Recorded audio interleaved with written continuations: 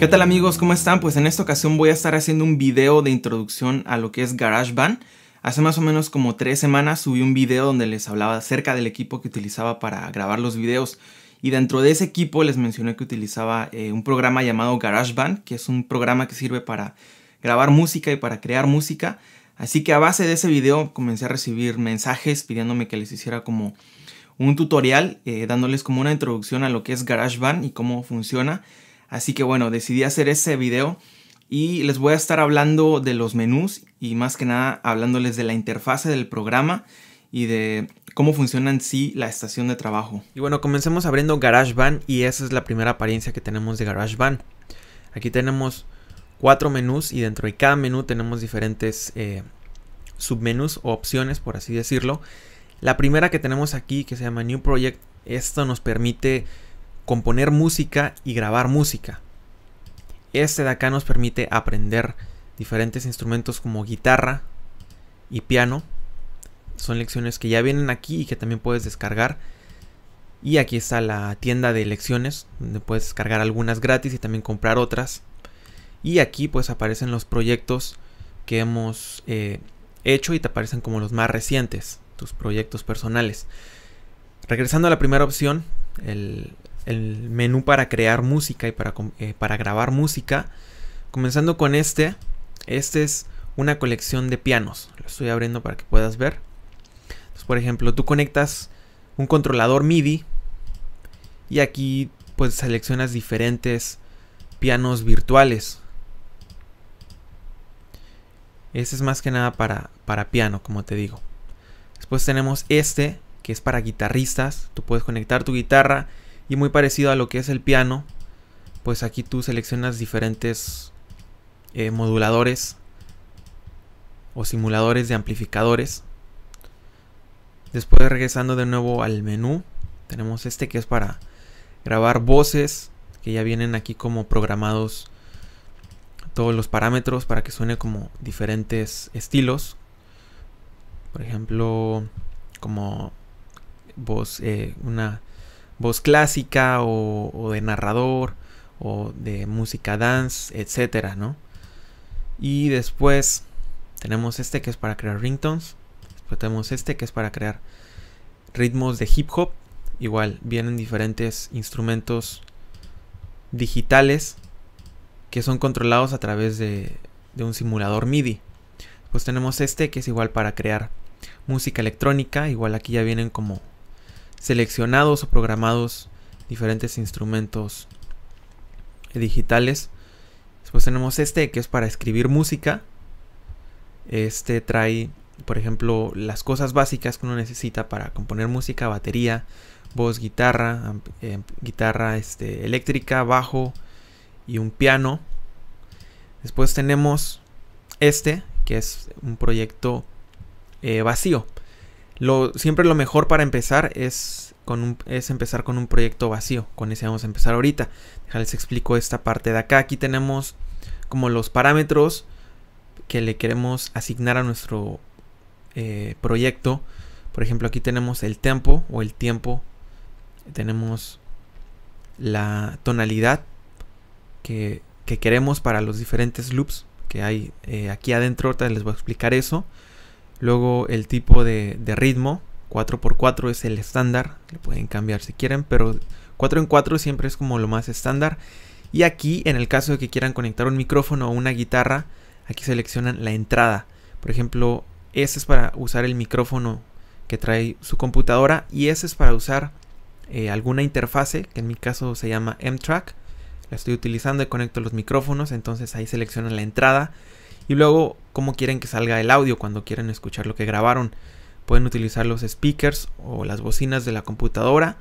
O pueden utilizar de la interfase, a través de la interfase, hacer que salga el sonido. Yo en mi caso tengo conectados los, los speakers o las bocinas a la computadora. Así que vamos a darle clic a este proyecto. Y como pueden ver es muy sencillo. Lo único que tenemos aquí es un piano. Y vamos ahora a les voy a explicar los diferentes usos que tiene cada uno de estos menús o botones. Y comencemos con estos cuatro que tenemos aquí. Comenzando con este, este nos permite ver la librería de instrumentos digitales. Por ejemplo, aquí están en categorías bajo, batería, eh, otra batería como más electrónica, guitarra, piano, sintetizador, etc.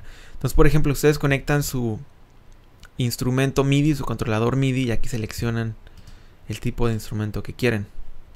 Bajo, aquí batería, como les digo de nuevo, etc. Luego aquí tenemos este botoncito que es muy de bastante ayuda, especialmente cuando uno va comenzando, porque cuando ustedes mueven el cursor, si pueden ver en la parte de aquí abajo, les dice para qué sirve cada cosa. En mi caso está en inglés, pero si lo tienen en español, pues les va a decir en español. Por ejemplo, aquí me está diciendo que este es eh, un track para grabar música o un, un, canal, un, una pista para que yo pueda grabar música. Si lo pongo aquí, me dice que es el botón para dar play, el botón para grabar. Este es el, metrónomo, el, el afinador. Entonces, ese es bastante bueno. Se lo recomiendo que pues le den, que lo usen cuando van comenzando, porque les sirve bastante como de referencia. Después tenemos este que es para que son como el controlador de los diferentes instrumentos que ustedes seleccionan, miren.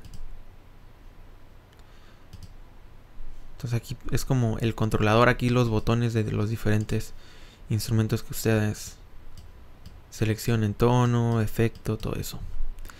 Luego aquí tenemos este que es para editar eh, lo que uno grabe. Entonces aquí puede, por ejemplo, si uno graba puede acortar lo que graba o moverlo de posición o en sí más que nada para editar lo que uno graba. Esos son esos cuatro botoncitos. Después nos pasamos a este que está acá, que son como los controladores para darle play o para comenzar a grabar o para dar stop o regresar. Este pues nos permite regresar, este nos permite avanzar y va avanzando más que nada por, por compases. Después este nos permite pues dar stop, creo que estos símbolos todos los conocemos, dar stop a algo que estemos reproduciendo. Este le da play y este te permite grabar. Por ejemplo, ahí estoy grabando. Ok, y luego nos pasamos a este a esta pantallita que tenemos acá y comenzando con este nosotros podemos decidir si vemos lo que estamos grabando por, por barras, por compases, o lo queremos ver por tiempo. Por ejemplo, aquí se cambió a tiempo. Bien, si yo le doy play, ahí está avanzando el tiempo, 2 segundos, 3 segundos. En cambio, si lo cambio a los compases, comienza a contar por compás. Mira, aquí va primer compás, segundo compás, tercer compás. Y pues aquí te va marcando como en una forma más más de decimales y eso, ¿no? Eh, y después acá tenemos el tiempo, el tiempo. Por ejemplo, si tú le quieres mover, simplemente das clic, subes o bajas. Luego para mover el otro número das clic al otro número, subes y bajas. Luego aquí tenemos la tonalidad que quieres eh, asignar a los diferentes loops. Eso lo vamos a explicar ahorita, está acá. Ahorita lo vas a entender mejor. Y de nuevo acá el, el tiempo que uno quiere asignar, que es básicamente lo que seleccionamos al principio cuando hicimos nuestro, nuestro proyecto. Luego vámonos a estos cuatro que están acá. Este nos permite eh, hacer un loop o hacer una repetición de algo que grabemos. Entonces, por ejemplo, si queremos repetir algo que grabamos aquí, seleccionamos cuánto de eso queremos repetir. Igual ahorita lo van a entender con los loops. Después acá tenemos un afinador para cuando conectes tu guitarra eléctrica o usando igual el micrófono de la misma computadora. Luego acá tenemos este que es como un contador. Cuando tú vas a grabar, te cuenta cuatro tiempos antes de comenzar a grabar. Entonces, por ejemplo, le da play y te cuenta cuatro. Basado en el tiempo que tú pusiste aquí. Y después este es el metrónomo.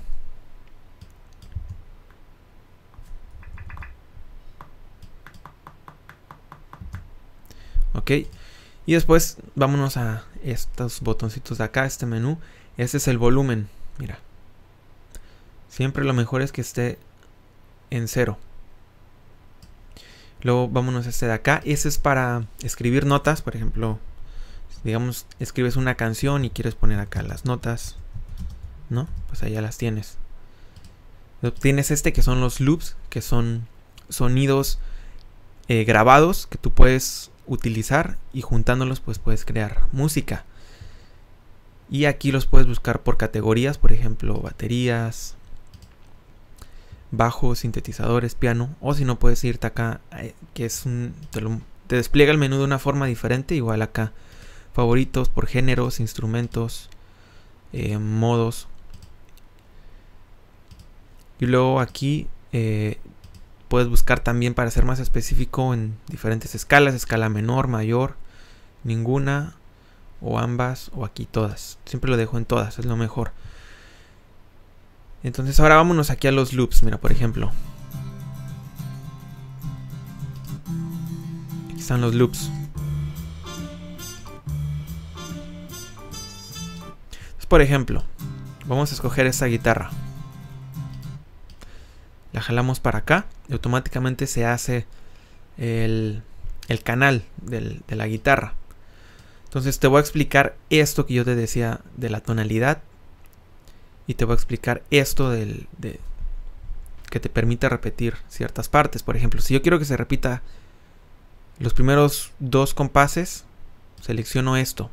Mira, lo muevo y se va a repetir.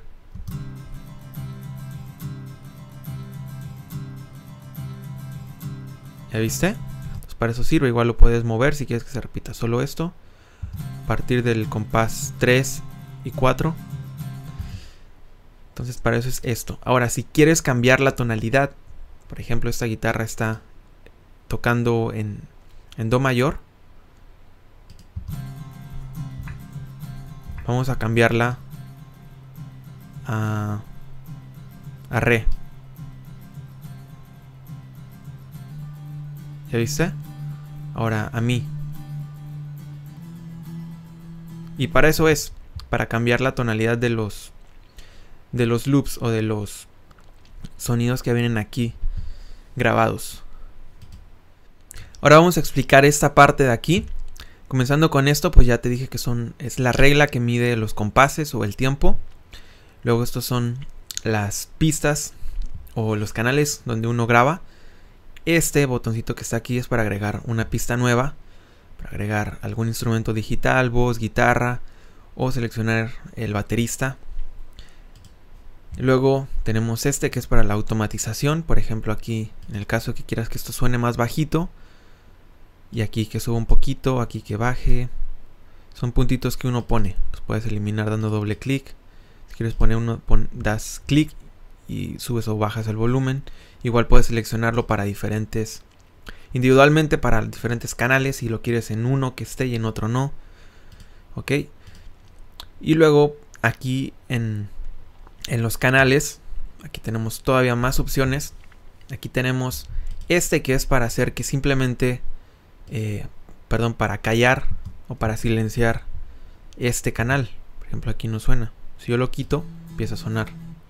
O si tienes diferentes canales, diferentes instrumentos. Por ejemplo, aquí te voy a meter otro. Entonces digamos, si no quieres que suenen los dos, puedes eh, hacer que solo suene uno seleccionando los audífonos. Ok. Después tenemos este que es un monitor, o sea, estás tocando guitarra y te quieres escuchar afuera con este. Eh, si quieres eh, escucharte en, los audífonos o, o, los speakers, las bocinas.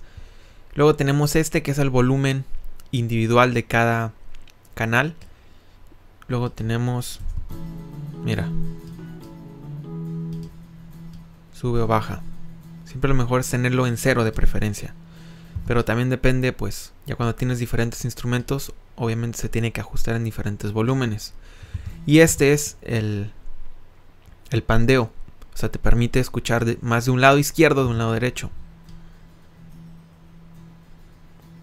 O en medio. Y luego el menú de acá abajo es para modificar cada uno de los, de los canales que tienes. Por ejemplo, aquí está lo que yo grabé, mira. Perdón, lo que el loop que seleccionamos. Entonces por aquí está, por ejemplo, aquí está, puedes con este hacer un acercamiento. Igual en la parte de arriba se olvidó decirte que con este puedes hacer acercamiento o alejamiento. Y pues aquí igual es para modificarlo. Y en el caso de que tengas algo que tú grabaste, por ejemplo, voy a seleccionar nuevo canal de voz. Aquí, por ejemplo, si yo grabara X cosa, mira, voy a grabar. Ahí grabé algo, ¿no?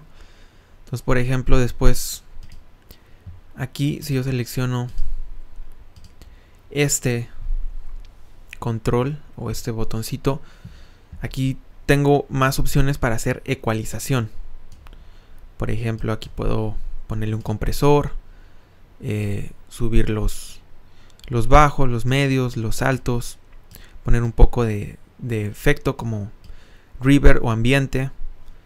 Y por ejemplo aquí puedes poner este controlar más el, esa, este canal, por ejemplo, si vas a grabar con este una voz, una guitarra, con este ajustas el volumen de lo que vas a grabar o lo puedes hacer automáticamente seleccionando este que, que dejas que en sí el programa automáticamente ajuste los niveles de volumen y luego este igual para seleccionar las entradas por las que quieres grabar en mi caso mi interfase tiene dos entradas así que yo en este caso tengo seleccionada la 1 o puedo seleccionar la 2 y luego este es para escucharte igual este es para prevenir el, el feedback y este es para poner un, un compresor como para, para eh, eh, cancelar todo ese ruido innecesario.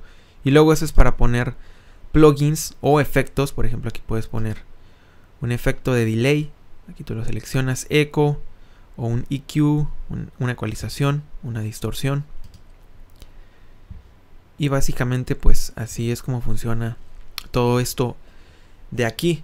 Igual si quieres eh, hacer grabar diferentes instrumentos a la vez, le das clic derecho a una de estas pistas y aquí tienes otro menú. Por ejemplo, aquí con este puedes escoger este que dice mostrar Show Record Enable, como muestra el botoncito para, para grabar. Y si yo quiero grabar diferentes instrumentos, pues selecciono los que quiero grabar. Por ejemplo, este y este. Entonces cuando le dé grabar, empieza a grabar pues en la parte de arriba y en la parte de abajo. En este caso, como no tengo guitarra arriba, pues no está grabando. Y ya finalmente, para guardar tu proyecto, le das aquí donde dice save, o si lo tienes en español, imagino que decir guardar. Pones aquí el título, por ejemplo, prueba, test, seleccionas donde lo quieres grabar, le das grabar y listo. Y si quieres ya exportar, pues eh, lo que grabaste, le das en share, o me imagino que en español es decir compartir o exportar, y le das en exportar canción, igual le das un título, seleccionas donde se va a guardar, y aquí tienes los diferentes formatos en los que quieres exportarlo. Yo siempre exporto en MP3 porque eh, es el mejor como formato para subir a internet y es comprimido. Entonces aquí igual selecciona la calidad del formato. Baja media alta super alta. Y bueno básicamente eso es como la introducción a lo que es GarageBand y la interfase y todo eso no bueno espero que este video les haya ayudado a entender de una forma más general cómo funciona GarageBand eh, este es un programa muy extenso que tiene bastantes usos y que tiene bastantes opciones. Obviamente es muy difícil explicarles cómo funciona todo GarageBand en un solo video. Así que estaré haciendo videos individuales explicando las diferentes funciones que tiene. Poco a poco los iré subiendo. Igual en los comentarios, pues déjenme saber qué les gustaría aprender, ¿no? Eh, aquí abajo les dejo mis redes sociales por si las quieren checar y me quieren seguir en alguna de ellas. Y nos vemos en el próximo video.